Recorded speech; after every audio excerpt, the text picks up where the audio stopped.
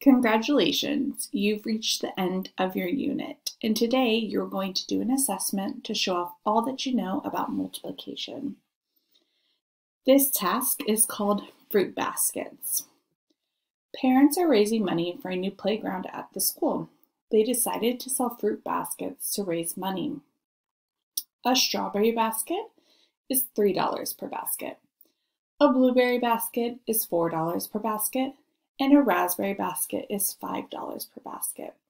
You're going to use this information to solve some problems involving multiplication.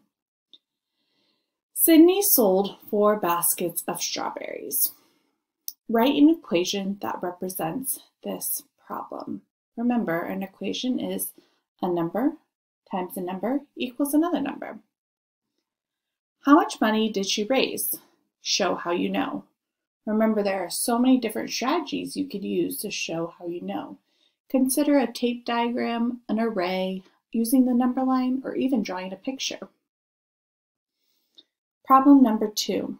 Jermaine sold three baskets of raspberries and his sister sold five baskets of strawberries. Who raised more money? Show how you know.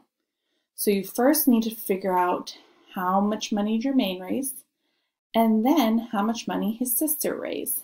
Then you can compare those two. Be sure to show all of your work here.